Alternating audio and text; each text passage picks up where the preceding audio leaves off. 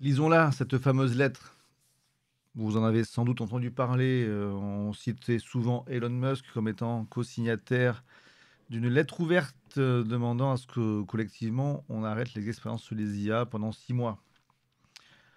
Avec plus de 3000 signataires, dont plusieurs grands noms, hein, même si Elon Musk a souvent été cité, on, a, quand même beaucoup de gros noms, hein, euh, comme, par exemple Steve Wozniak et, et d'autres, hein, donc qui sont euh, des gros pontes de la Silicon Valley et compagnie. Bon, donc c'est pas non plus complètement, euh, complètement stupide sans doute, mais en tout cas on va essayer de voir un peu euh, ce qu'il en ressort concrètement, qu'est-ce qui est dit là-dedans, et puis voir quelques lettres du même type qui sont sorties depuis, éventuellement des réactions, etc. Qu'est-ce que ça dit? Voilà, c'est une traduction, ce sera plus simple, hein, mais une traduction automatique par Google Trad, mais je repasserai en VO si, quand, quand les termes parfois peuvent être un peu ambigus ou semblent être mal traduits. Les systèmes d'IA dotés d'une intelligence humaine compétitive peuvent poser de graves risques pour la société et l'humanité, comme le montrent des recherches approfondies et reconnues par les meilleurs laboratoires d'IA. Comme indiqué dans les principes d'Asilomar AI largement approuvés, donc on va garder ça dans un coin, l'IA avancée pourrait représenter un changement profond dans l'histoire de la vie sur Terre et devrait être planifiée et gérée avec des soins et des ressources proportionnés. Malheureusement, ce niveau de planification et de gestion ne se produit pas, même si ces derniers mois ont vu les laboratoires d'IA enfermés dans une course effrénée pour développer et déployer des esprits numériques toujours plus puissants que personne, pas même leur créateur, ne peut comprendre, prédire ou contrôler de manière fiable. Bah, c'est vrai qu'il y a un côté euh, boîte noire hein, dans, ces, IA, on ne peut pas exactement savoir euh, comment elles résonnent, mais bon, continuons. Les systèmes d'IA contemporains deviennent désormais compétitifs pour les humains dans les tâches générales, et nous devons nous demander, devrions-nous laisser les machines inonder nos canaux d'information, de propagande et de contre-vérité. Devrions-nous automatiser toutes les tâches, y compris celles qui sont épanouissantes? Devrions-nous développer des esprits non humains qui pourraient éventuellement être plus nombreux, plus intelligents et nous rendre obsolètes et nous remplacer? Devrions-nous risquer de perdre le contrôle de notre civilisation? De telles décisions ne doivent pas être déléguées à des leaders technologiques non élus. Des systèmes d'IA puissants ne devraient être développés qu'une fois que nous sommes convaincus que leurs effets seront positifs et que leurs risques seront gérables. Cette confiance doit être bien justifiée et augmentée avec l'ampleur des effets potentiels d'un système. La récente déclaration d'OpenAI concernant l'intelligence artificielle générale indique qu'à un moment donné, il peut être important d'obtenir un examen indépendant avant de commencer à former de futurs systèmes. Et pour les efforts les plus avancés, d'accepter de limiter le taux de croissance du calcul utilisé pour créer de nouveaux modèles. Nous sommes d'accord, ce point est maintenant. Par conséquent, nous appelons tous les laboratoires d'IA à suspendre immédiatement pendant au moins six mois la formation des systèmes d'IA plus puissants que GPT-4. Cette pause doit être publique et vérifiable et inclure tous les acteurs clés. Si une telle pause ne peut pas être décrétée rapidement, les gouvernements devraient inter- intervenir et instituer un moratoire. Les laboratoires d'IA et les experts indépendants devraient profiter de cette pause pour développer et mettre en œuvre conjointement un ensemble de protocoles de sécurité partagés pour la conception et le développement avancé d'IA qui sont rigoureusement audités et supervisés par des experts externes indépendants. Ces protocoles devraient garantir que les systèmes qui y adhèrent sont sûrs au-delà de tout doute raisonnable. Cela ne signifie pas une pause dans le développement de l'IA en général, mais simplement un recul par rapport à la course dangereuse vers des modèles de boîtes noires imprévisibles, toujours plus grands avec des capacités émergentes. Plusieurs fois avant, il a été question de résoudre des problèmes généraux ou d'IA euh, générale. Pour l'instant, c'est vrai qu'on est sur des IA qui sont spécialisées dans des tâches euh, très précises, mais, euh, c'est vrai que le dernier ChatGPT semble euh, être capable, enfin, il est capable de résoudre des énigmes qu'on n'aurait pas forcément, euh, qu'on se serait pas forcément attendu à le voir résoudre, et que 3.5 par exemple avait bien du mal à, à comprendre. Donc voilà, il y, a un papier de recherche que je lirai en vidéo comme ça, hein, qui, voit des étincelles d'intelligence générale dans ChatGPT-4. Et c'est ce concept d'intelligence générale, c'est pas encore de la conscience, mais en tout cas des IA qui peuvent résoudre, résoudre plein de problèmes différents. Donc c'est ça qui fait peur à, ces signataires. La recherche et le développement de l'IA devraient être recentrés sur la fabrication des systèmes puissants et à la pointe de la technologie d'aujourd'hui, plus précis, sûrs, interprétables, transparents, robustes, alignés, dignes de confiance et loyaux. En parallèle, les développeurs d'IA doivent travailler avec les décideurs politiques pour accélérer considérablement le, le développement de systèmes de gouvernance et de l'IA robustes. Celle-ci devrait au minimum inclure de nouvelles autorités de réglementation compétentes dédiées à l'IA, la surveillance et le suivi de systèmes d'IA hautement performants et de vastes poules de capacités de calcul, des systèmes de provenance et de filigrane pour aider à distinguer le réel du synthétique et à suivre les fuites de modèles. Un solide, économique, un solide écosystème d'audit et de certification, responsabilité pour les dommages causés par l'IA, un financement public solide pour la recherche technique sur la sécurité de l'IA, et des institutions bien dotées en ressources pour faire, face pardon, aux perturbations économiques, qui vont être nombreuses, et politiques dramatiques, en particulier pour la démocratie, que l'IA entraînera. L'humanité peut profiter d'un avenir florissant avec l'IA. Après avoir réussi à créer de puissants, systèmes d'IA, nous pouvons maintenant profiter d'un été de l'IA. C'est en référence à l'hiver de l'IA, euh, parce qu'en fait, quand, quand, on a commencé à travailler, ça fait longtemps qu'on travaille, des, décennies qu'on travaille sur ces IA. Et pendant, pendant longtemps, il y a eu une phase où on a perdu de l'intérêt là-dedans, parce que ça progressait pas trop. Donc, on a appelé ça l'hiver de l'IA. Donc, maintenant, l'été de l'IA, c'est la période dans laquelle nous récoltons les fruits, concevons ces systèmes pour le bénéfice de tous et donnons à la société une chance de s'adapter. La société a fait une pause sur d'autres technologies avec des effets potentiellement catastrophiques sur la société. Nous pouvons le faire ici. Profitons d'un long été d'IA. Ne nous précipitons pas sans préparation dans une chute. Le point 5, il pense à quelle technologie pour laquelle on a, on a fait attention? Il y a tous les signataires. Hein. il y a quand même beaucoup d'universitaires et de PDG euh, majeurs. Hein. Enfin, on peut pas simplement imputer ça à Elon Musk. Parce que c'est vrai que j'ai vu sur des forums comme Reddit ou quoi que on disait oui, Elon Musk, il fait ça pour euh, rattraper les, autres euh, en ayant six mois de rab. Bah, c'est possible que c'est lui qui a beaucoup manipulé des marchés et tout.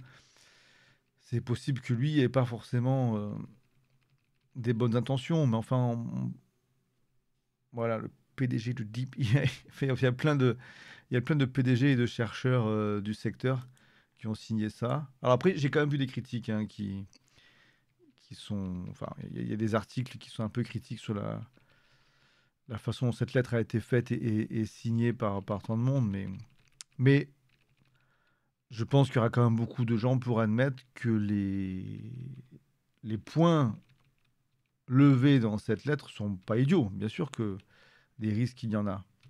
Ne serait-ce que. Ça rappelle aussi un peu cette vidéo qu'il y a quelques années maintenant où on voyait. Euh, un potentiel développement dystopique de, de mini-drones qui, qui, pourraient euh, envoyer, euh, se jeter sur nos têtes et envoyer 3 grammes d'explosifs pour tuer n'importe qui sans forcer. Bien sûr que les risques existent et qui sont énormes. Et qui sont énormes. Maintenant, est-ce qu'une telle lettre va suffire pour euh, pousser des entreprises florissantes à, s'arrêter pendant six mois, en plus en laissant les autres pays continuer, c'est vrai que c'est peu probable.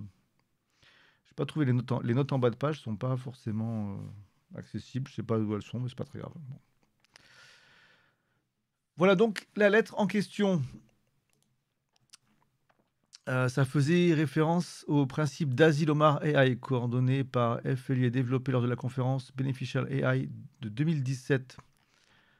Donc on a ici, c'est pas très long non plus, donc je vais le lire des, euh, principes qui, ont été euh, décidés à l'international pour essayer d'avoir une IA qui peut nous servir plutôt que nous desservir.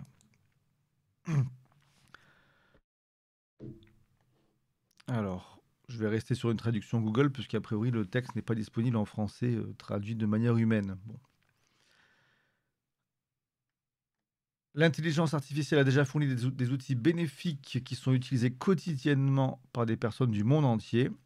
Son développement continue, guidé par les principes suivants. Alors je vais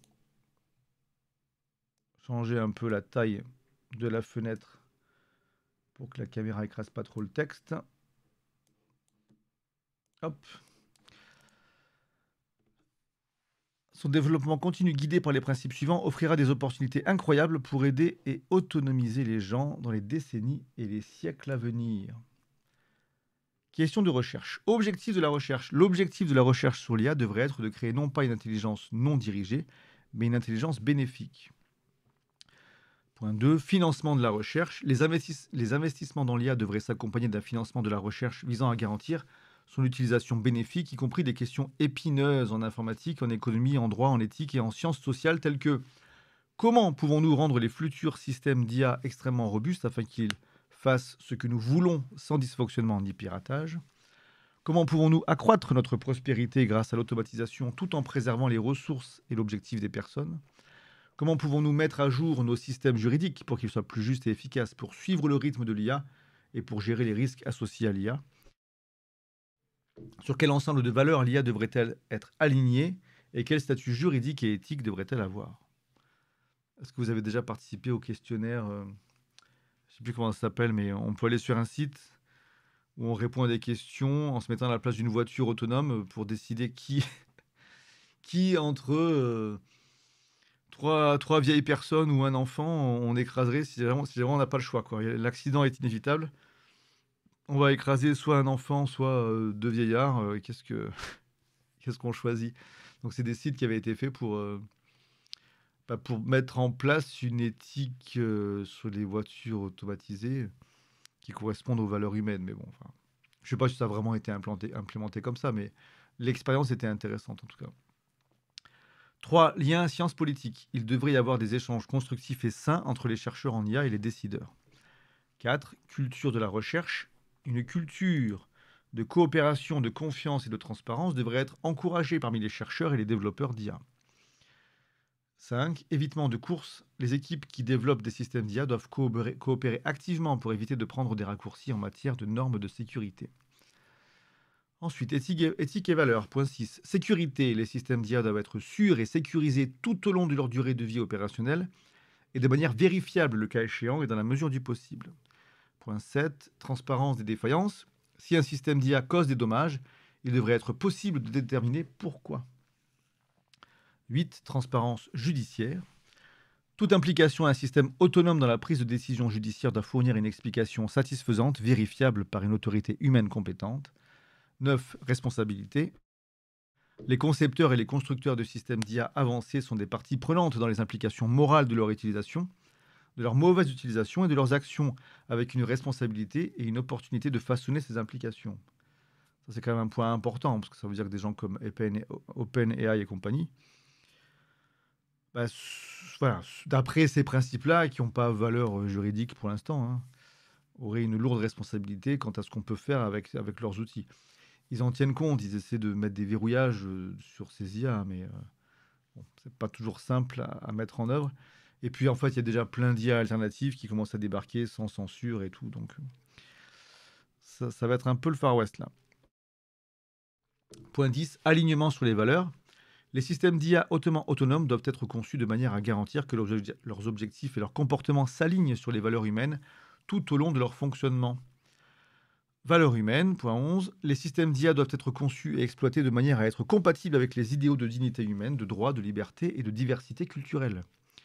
Point 12, confidentialité. Les personnes doivent avoir le droit d'accéder, de gérer et de contrôler les données qu'elles génèrent, compte tenu du pouvoir des systèmes d'IA d'analyser et d'utiliser ces données. Ça, va être très compliqué. Euh. C'est déjà pas simple. Euh, ça fait des mois que j'ai demandé à Twitter quelles étaient leurs données me concernant et j'ai rien reçu. Pour Facebook, j'avais reçu il y a longtemps. Mais, bon, c'est des sites avec des bases de données traditionnelles. Par contre, euh, pour, ces IA qui se nourrissent du web, qui contiennent nos infos, et qui après foutent ça dans un réseau de neurones, qui fait boîte noire et qu'on peut pas trop analyser et modifier, ça risque d'être assez compliqué de gérer euh, l'accès à nos données là-dedans. Point 13, liberté et confidentialité. L'application de l'IA aux données personnelles ne doit pas restreindre de manière déraisonnable la liberté réelle ou perçue des personnes. 14. Bénéfices partagés. Les technologies d'IA devraient bénéficier et autonomiser autant de personnes que possible.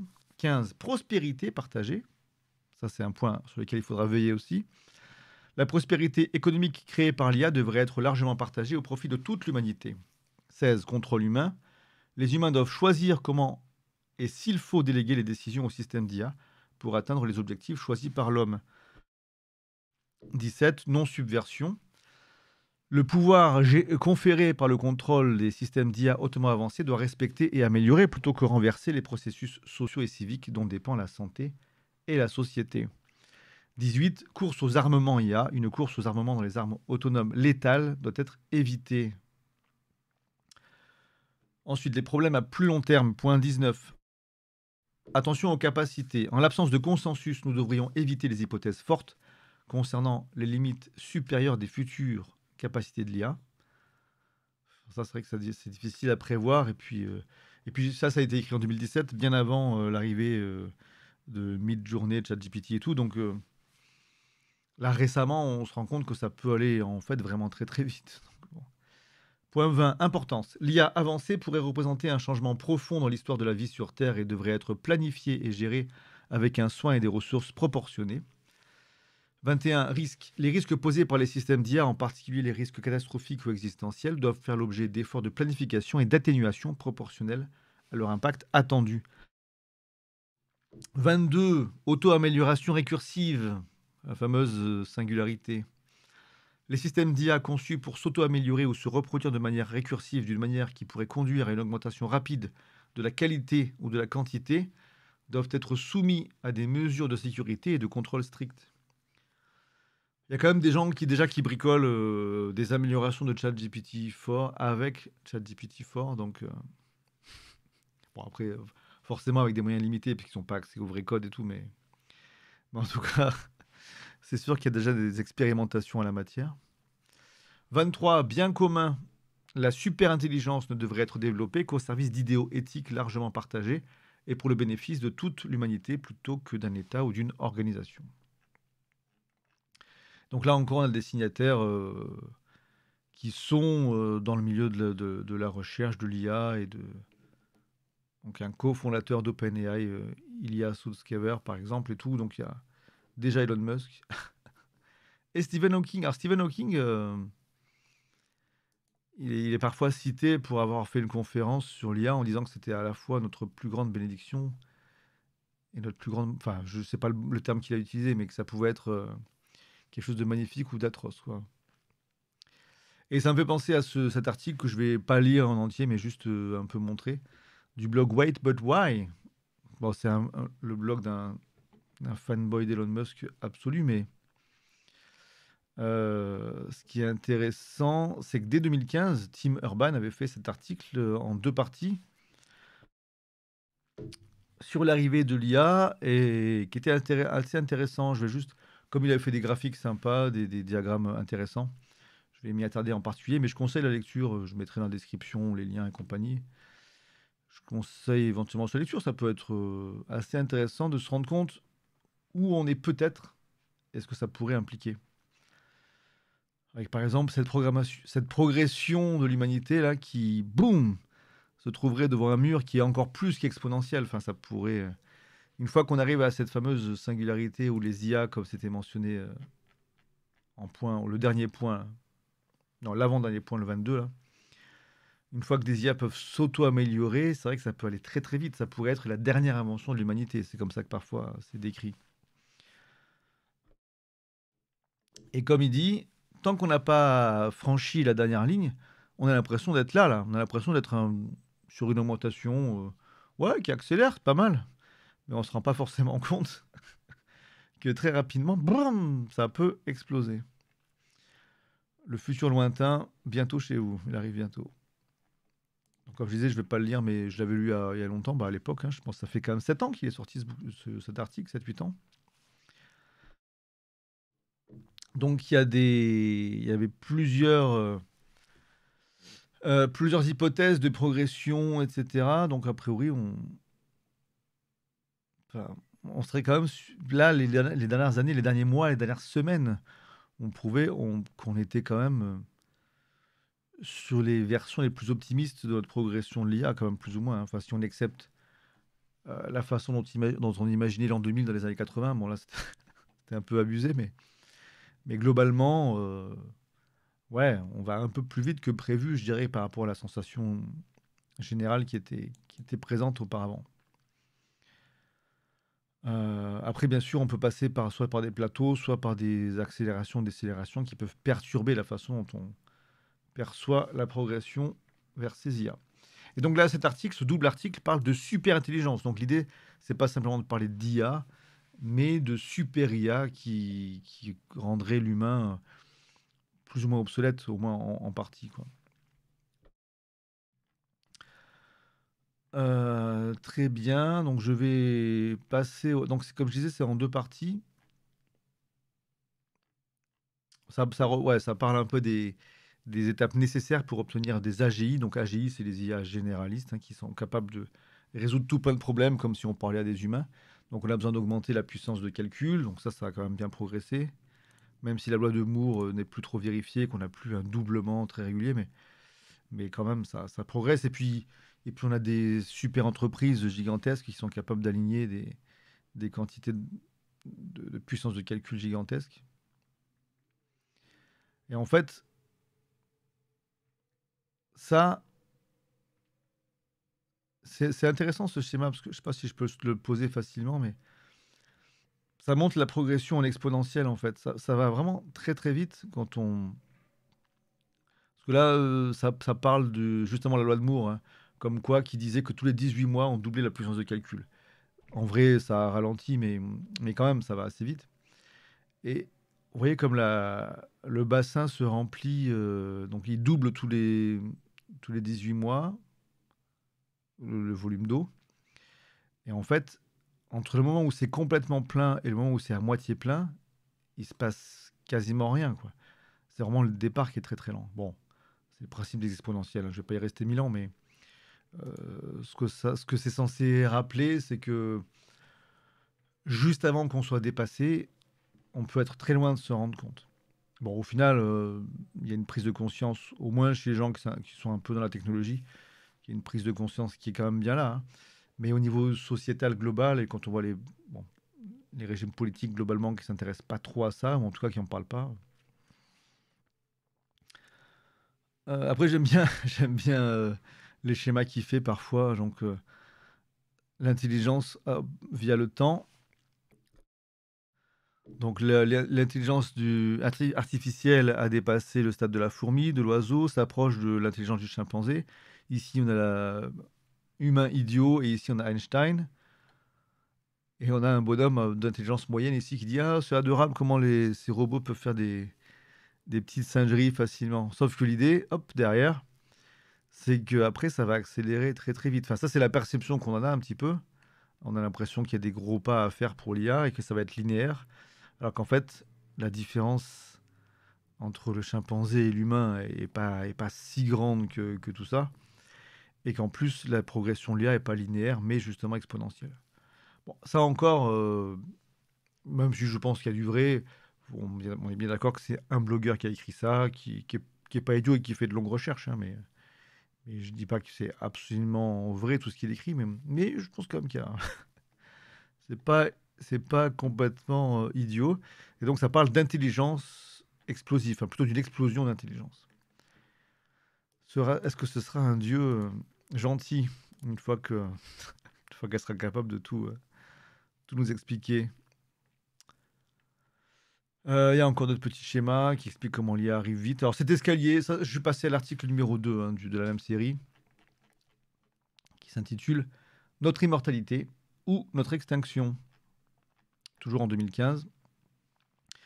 Et euh, ce diagramme montre l'intelligence humaine euh, étant à deux marches au-dessus de celle du chimpanzé, qui lui-même est à deux marches au-dessus du poulet. Un peu plus bas, on a la, fourmi. Et d'après l'auteur, la super intelligence d'une IA nous, nous placerait. On pourrait imaginer que l'IA se placerait à quelques marches au-dessus, alors qu'il est possible que ce soit des dizaines ou des centaines de marches au-dessus. Auquel cas, imaginez comment nous, on, considère une fourmi, comment l'IA pourrait euh, nous considérer. Est-ce que c'est réaliste? Est-ce que c'est de la science-fiction? Bon, évidemment, on, peut être qu'en conjecture hein, pour l'instant, mais d'autant qu'il y a quand même des, problématiques énergétiques et écologiques qui pourraient mettre un gros coup de frein à tous ces développements, bien sûr. Dans les années qui viennent, tout ne va pas forcément couler de source dans le meilleur des mondes non plus. Bon, quoi qu'il en soit, ça, beaucoup de, diagrammes et de, et de textes qui vont un peu dans ce sens-là. À un moment donné, il parle un peu de la perception qu'avaient les chercheurs en 2015, de, du moment où, par exemple, ils estimaient que la, la, prédiction médiane des experts pour le fait d'atteindre l'AGI, donc l'intelligence générale, enfin l'IA qui permet de comprendre un peu toutes sortes de problèmes, ce serait vers 2040. Récemment, après ChatGPT, la version 4, il y a pas mal de chercheurs qui ont revu leurs estimations pour l'AGI euh, en plus proche, quoi. On, mise plus du 2030 et quelques, quoi, 2030, 2032, d'après ce que j'ai vu après, bon. Et ils imaginaient à l'époque l'ASI, l'Artificial Super Intelligence, pour 2060. Donc là, peut-être que ça a évolué aussi, bon, je sais pas, mais... Voilà, donc la super intelligence euh, détiendra des pouvoirs, un pouvoir gigantesque. La question critique pour nous étant qui ou quoi sera au contrôle, aux manettes de cette puissance et quelles seront leurs motivations. C'est sûr que ça, ça va être très important. Très très important. Là, on a une série de diagrammes sur euh, est-ce qu'on est plus ou moins optimiste ou pessimiste sur euh, ce que ça peut donner et est-ce qu'on pense que ça va arriver rapidement ou pas. Et à partir du principe que a beaucoup de gens, soit dans le, le, coin super confiant, donc en pensant que ça va arriver très vite et que ça va être super pour nous. Et plus généralement, souvent, une posture où on se dit que ça va arriver soit rapidement, soit on ne sait pas trop.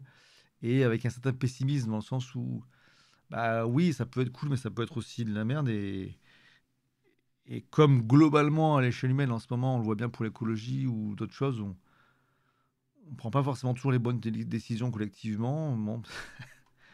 Est-ce que ça va bien se passer? Voilà, voilà. Donc à chaque fois, c'est sur ce blog, hein, c'est des articles toujours euh, longs, complets et intéressants. C'est bien fait. Hein. C'est fort bien fait. Mais bien sûr, je vais pas, comme je disais, je vais pas lire en entier, mais je vous invite à y aller éventuellement. Ça peut être sympathique. Donc ça c'est 2015. Depuis, l'auteur a fait d'autres d'autres articles sur d'autres sujets bien sûr, mais j'y vais plus très régulièrement. Mais, mais à cette époque-là, ouais, entre 2015 et 2017, un truc comme ça, je le lisais très régulièrement. C'était sympa. Il a fait toute une série sur sur SpaceX. À un moment, il a pu rencontrer Elon Musk, donc il était fort content de tout ça. Euh, donc là, je suis, je vais, je vais bientôt arrêter hein, cette vidéo, mais Juste pour dire qu'il y a quand même eu des, réactions à cette fameuse lettre ouverte que j'ai ouverte en début de, vidéo, euh, qui pour certains, c'est une tentative de, de hold-up un peu politique de, ces recherches sur l'IA, euh, avec peut-être une tentative euh, voilà, des élites de, récupérer tout ça. Élite, alors là, ici, élite, qu'est-ce que ça signifie? Je dois avouer que j'ai vu plusieurs nouvelles, hein, plusieurs sites qui parlaient de euh, de ces réactions un peu mitigées. DAO Time, c'est un des sites sur lesquels je suis tombé. Je ne sais pas quel est son, son parti pris. Hein. Je ne vais, vais pas le lire et je ne vais pas forcément, euh, je vais pas forcément euh, prendre parti. Mais pour lire juste la conclusion de cette voix discordante parmi d'autres, l'IA démocratise les connaissances et crée de nouvelles opportunités pour la justice sociale et économique. Cela peut nous aider à résoudre certains des plus grands problèmes de notre époque, tels que le changement climatique, la pauvreté, la maladie et les inégalités. Cela peut également remettre en question les structures de domination centralisées existantes qui profitent à quelques-uns aux dépens de nous. L'avenir de l'IA n'est pas à eux de décider, c'est le nôtre. La traduction n'est pas, pas ouf, mais bon, ce n'est pas aux grands patrons et aux, grands présidents de choisir euh, ce qu'on fait de l'IA. Donc ça, là, il y a un vœu de décentralisation. Et c'est vrai qu'on voit déjà des initiatives open source euh, fleurir un peu partout à ce niveau-là. On peut déjà télécharger des, IA de ce type, un peu la chat GPT, on peut déjà en télécharger sur notre PC, euh, des versions un peu simplifiées mais déjà puissantes. Donc c'est vrai qu'il y a une décentralisation possible et mais ça résout pas. Est-ce que voilà, est-ce que ça enlève les risques? Non, les risques sont quand même là. Donc, euh, je saurais pas trop dire qui a raison. C'est pas simple et je, je suis pas là pour trancher. Mais euh, c'est pas simple. Ouais, c'est pas simple. Donc là, il a le trio de tête hein, de, des signataires Andrew Yang, Elon Musk et Steve Wozniak qui sont qui sont un peu attaqués là-dessus, mais nous devons poser le développement de l'IA pour, euh, pour six mois, le temps le temps qu'on les étudie euh, six mois dans nos labos pour pas que les paysans se blessent tout seuls. Ma foi. Donc il y avait une autre lettre ouverte aussi que j'ai trouvée sur. Euh, euh, ça c'est plutôt des, des facs allemandes, hollandaises et compagnie, autrichiennes. Donc il y a, la Belgique, etc. qui donc qui a préparé une autre des chercheurs qui ont, proposé une autre lettre qui ont peur d'IA manipulatrice. Donc je vais peut-être finir là-dessus. Je vais quand même la lire celle-ci parce que c'est dans la droite ligne euh, de l'autre lettre ouverte, mais elle est plus récente, le 31 mars. je ne sais même plus trop de quand dater l'autre, mais il me semble que c'était un chouïa avant. On s'en fiche. Donc Nathalie Smua, Mike de je ne sais pas trop comment on prononce tout ça, des gens moins connus, mais des chercheurs en, IA, dont, dont, Enfin, pas forcément en IA, en fait, justement, non. Ingénieur, philosophe, juriste plutôt, plutôt des juristes et philosophes avec quelques ingénieurs. Donc c'est intéressant de voir aussi euh, cet avis-là. Donc je vais le lire et, je pense que je m'arrêterai là-dessus. Les chatbots et autres applications d'intelligence artificielle imitant l'humain prennent une place de plus en plus importante dans nos vies. La percée de ChatGPT a également marqué la percée de l'IA auprès du public, même si cette technologie existe depuis des, des décennies. Les possibilités soulevées par les derniers développements de l'IA sont fascinantes, mais le fait qu'une chose soit possible ne la rend pas encore désirable.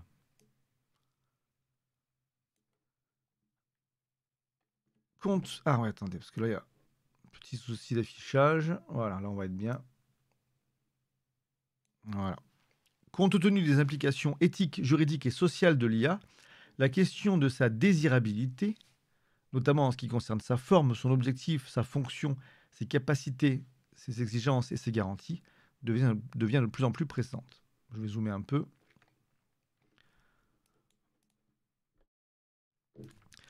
Par exemple, nous savons que les chatbots, comme les autres systèmes d'IA, peuvent contenir des biais et générer des résultats discriminatoires. Ils peuvent également halluciner ou faire une déclaration avec une grande certitude qui est complètement déconnectée de la réalité, ainsi que produire un langage haineux basé sur la désinformation ou tout autre langage problématique. Leur fonctionnement opaque et leur évolution imprévisible aggravent ce problème. Mais l'un des principaux risques associés à l'IA imitant l'humain s'est reflété dans le récent suicide provoqué par les chatbots en Belgique, le risque de manipulation.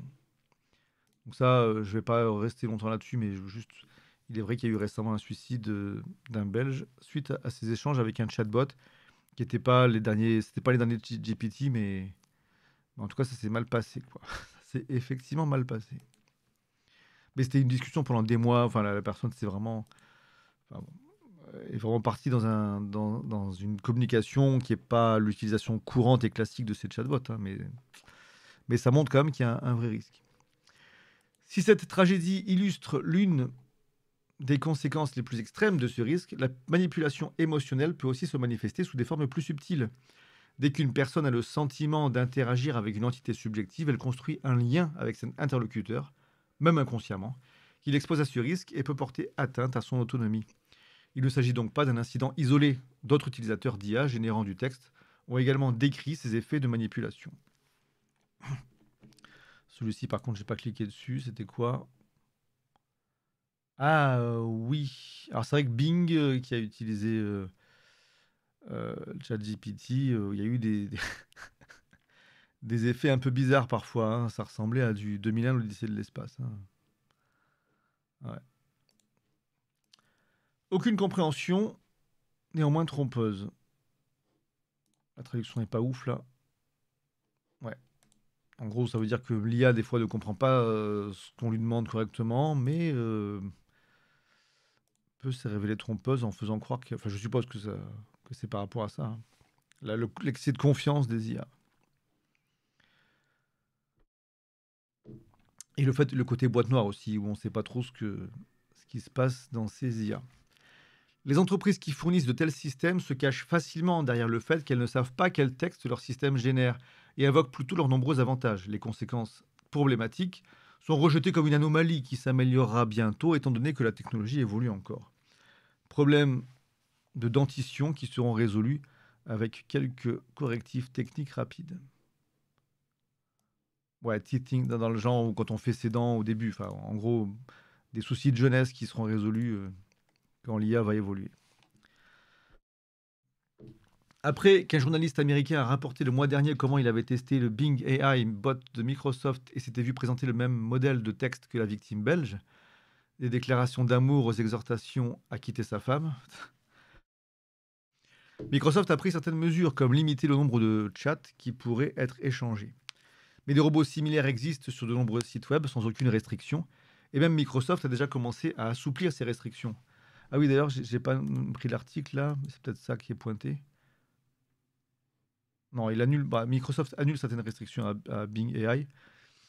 Et récemment aussi, une nouvelle qui avait fait un peu de bruit, c'était Microsoft qui avait hum, arrêté, qui avait, fait stopper le, financement de son équipe dédiée aux recherches sur l'éthique euh, en lien avec les IA. Ce n'était pas forcément très bon signe. De plus, de nombreuses applications visent également spécifiquement à donner au chatbot une personnalité, ce qui augmente encore le risque de manipulation émotionnelle. La plupart des utilisateurs réalisent rationnellement que le bot avec lequel ils discutent n'est pas une personne et n'a aucune compréhension réelle, mais qu'il s'agit simplement d'un algorithme qui prédit la combinaison de mots la plus plausible sur la base d'une analyse de données sophistiquée. Il est cependant de notre nature humaine de réagir émotionnellement à des interactions réalistes, même sans le vouloir. Cela signifie également que le simple fait d'obliger les entreprises à indiquer clairement qu'il s'agit d'un système d'IA et non d'un être humain n'est pas une solution suffisante. Tout le monde est vulnérable. Certains individus, en raison de leur âge ou de leur état mental, sont plus sensibles que d'autres aux effets associés à ces systèmes réalistes et à leur risque de manipulation. Par exemple, le fait que les enfants puissent facilement interagir avec des chatbots qui gagnent d'abord leur confiance et ensuite peuvent non seulement cracher un langage haineux, complotiste ou pornographique, mais aussi encourager le suicide, est alarmant pour beaucoup. D'autres... Attends, la traduction n'est pas dingue là. Ah oui. D'autres personnes particulièrement sensibles sont celles qui n'ont pas de réseau social solide ou celles qui sont seules ou déprimées. Précisément la catégorie qui, selon les créateurs des chatbots, peuvent tirer le meilleur parti de ces systèmes. Le fait qu'il y ait une pandémie de solitude et qu'une aide psychologique opportune manque presque partout ne fait que contribuer à ce problème. Pourtant, il est important de souligner que tout le monde peut, être sensible aux effets de tels systèmes réalistes. Après tout, la réponse émotionnelle qu'ils suscitent se produit automatiquement, même sans que nous nous en rendions compte. Et ça, je suis bien d'accord. Non, mais ça, c'est vrai que même. Euh, j'ai fait une fois une grande randonnée où j'ai marché longtemps euh, dans la nature et, il n'a pas fallu longtemps avant que je me mette à parler aux arbres. Hein. On a besoin d'interaction sociale. Euh, et j'ai vu sur Reddit des gens dire qu'ils utilisaient euh, ChatGPT comme, comme psychologue. Ils en étaient très contents et ça se passait bien. Mais on a vu donc un cas où ça se passe, enfin, on a vu que ça se passait pas toujours si bien. Les êtres humains aussi peuvent générer des textes problématiques. Alors quel est le problème? Est une réponse fréquemment entendue. Mais les systèmes d'IA fonctionnent à une échelle beaucoup plus grande, de sorte que les dommages qu'ils peuvent causer sont également beaucoup plus importants. Et s'il s'agissait d'un être humain communiquant avec la victime belge, nous aurions qualifié cela d'incitation au suicide et de non-assistance à personne dans le besoin, délit passible d'une peine d'emprisonnement.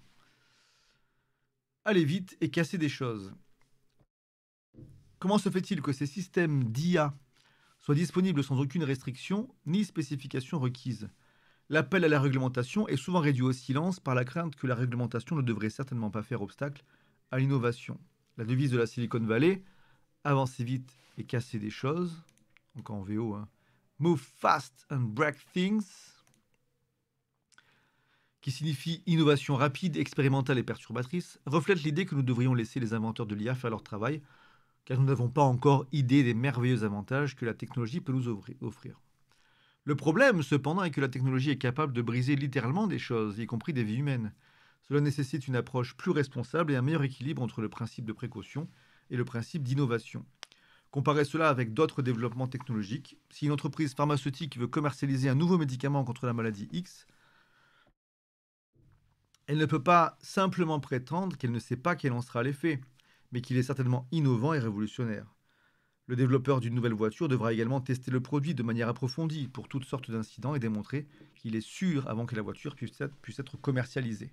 Et s'il s'y farfelu d'attendre la même chose des développeurs d'IA Aussi divertissants que puissent être les chatbots, ils sont plus qu'un simple jouet, mais peuvent avoir des conséquences très réelles pour les personnes qui les utilisent. Le moins que l'on puisse attendre de leurs développeurs, c'est qu'ils assument leurs responsabilités et ne rendent ces systèmes disponibles que lorsqu'il existe des garanties suffisantes contre les dommages. Les créateurs et fournisseurs de chatbots ne doivent donc pas se soustraire à leurs responsabilités morales et légales en déclarant qu'ils n'ont aucune idée du fonctionnement de leur système et de la manière dont il réagira. Nouvelle règle, trop peu, trop tard. L'Union européenne travaille actuellement sur une nouvelle législation qui imposera des règles plus strictes sur les systèmes d'IA à haut risque. Une responsabilité plus stricte de leurs fournisseurs, la soi-disant loi sur l'IA. Donc ça serait intéressant de, fouiller à terme euh, ce que, l'Europe euh, commence à potasser là-dessus. Nous verrons cela plus tard. Cependant, la proposition originale ne classe pas les chatbots et les systèmes d'IA génératifs comme à haut risque. Et leurs fournisseurs doivent seulement informer les utilisateurs qu'il s'agit d'un chatbot et non d'un être humain.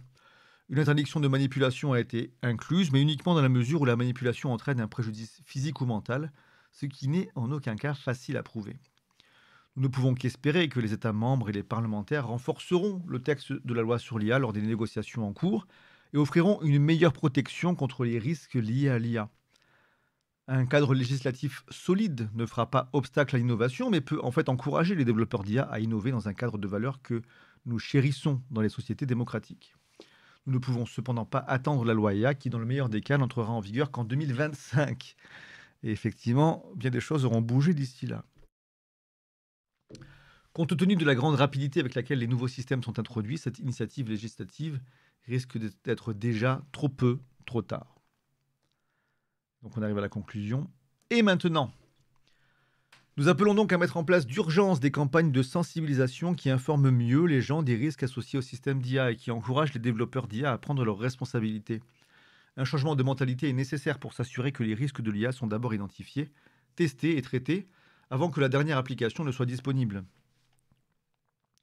L'éducation a ici un rôle important à jouer à tous les niveaux. Pourtant, il est également urgent d'investir davantage dans la recherche sur l'impact de l'IA sur les droits fondamentaux, y compris le droit à l'intégrité physique et morale. Enfin, nous appelons à un débat public plus large sur le rôle que nous souhaitons donner à l'IA dans la société, non seulement à court terme, mais aussi à plus long terme.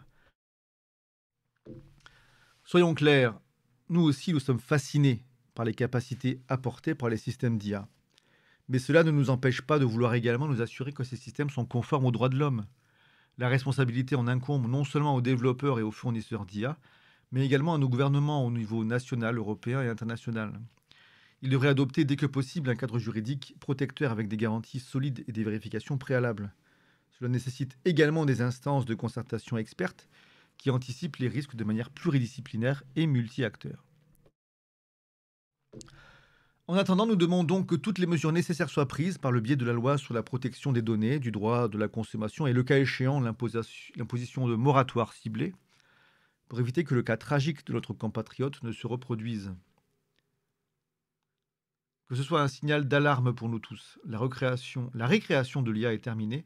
Il est temps de tirer des leçons et de prendre ses responsabilités. Donc c'est... Euh, c'est euh, une lettre essentiellement belge. Hein. En plus, c'est le point BE qui, le montre clairement. Je n'avais pas forcément fait attention à l'origine, mais c'est euh, bon, c'est un bon complément à la lettre proposée par les gens côté IA. Là, donc comme je disais, on a plutôt des, on a des gens de l'informatique, mais on a aussi beaucoup de philosophes, juristes dans le tas, et qui se posent la question un peu autrement, quoi. Et qui, de ce côté-là aussi, appelle à une certaine prudence. Bon, après, il faut bien avouer que ça fait penser au COP 21, 22, 23, 24, 25. Bon. Voilà. Donc c'est possible que dans 10 ans, on regarde ces textes. Euh, dans quelles conditions, je ne sais pas, mais ça risque d'être compliqué, nous verrons cela. Mais comme dit la conclusion, c'est sûr que c'est un côté fascinant. C'est fascinant. C'est fascinant. Mais voilà, il y a des possibilités énormes dans tous les sens, en bien ou en mal. D'autant que, bon là, GPT-5, hein, le GPT-5, c'est vraiment que des rumeurs. Hein, mais... on dit que la version 5 arriverait cette année, en 2023, et qu'elle pourrait être très difficile à discerner d'un humain. En tout cas, ça serait potentiellement l'objectif. Mais c'est déjà, franchement, le 4 fonctionne déjà tellement bien que le développeur C-Kitchen a tweeté à ce sujet, déclarant qu'OpenAI vise à atteindre l'intelligence générale artificielle avec la version 5. Ma foi, mais bon, là, on a très peu d'infos là-dessus, donc je ne vais pas trop m'apesantir sur, euh, sur cette version-là. Euh, quoi qu'il en soit, je pense que c'était intéressant de lire euh, la lettre dont, on a beaucoup parlé, cette, lettre belge complémentaire bah, qui pose les des problématiques similaires mais sous un autre angle. Et euh, ainsi que ces principes, ces principes de l'IA posés en 2017, les principes d'Asilomar AI, qui cherchent à mettre en place euh, un cadre dans lequel on, aurait intérêt à se placer pour que tout se passe bien. Nous verrons, nous verrons ce qui va se passer. nous verrons, nous verrons. Donc je vais, je vais arrêter là pour cette vidéo et je pense que la prochaine ou une des prochaines, ce sera euh, un, résumé, je ne lirai pas l'entier parce qu'il est très long, mais, de ce papier scientifique euh, issu de chez Microsoft quand même, donc pas tout à fait neutre, qui voit des, étincelles, euh, Sparks of AGI, des étincelles d'intelligence générale dans, dans ChatGPT 4, hein, ChatGPT 4 déjà. Très bien, bah, une prochaine fois. Et puis, bon, comme je disais, la chaîne, je disais en première vidéo que la chaîne sera dédié aux news concernant l'IA, mais puis aussi aux outils qui permettent de, de s'en servir pour créer des choses, en essayant de ne pas aller dans les, dans les recoins les plus sombres de tout ce truc-là, mais on verra. En tout cas, le but, c'est pas de dire c'est bien, c'est pas bien, mais d'observer, de, se tenir au courant, de voir un peu comment ça évolue. Et voilà. À bientôt, à une prochaine fois. Je suis preneur de suggestions, de, bien sûr, hein, dans les commentaires, si jamais il y a des, envies de, de thèmes ou autres, on pourra y réfléchir ensemble. À bientôt. Au revoir.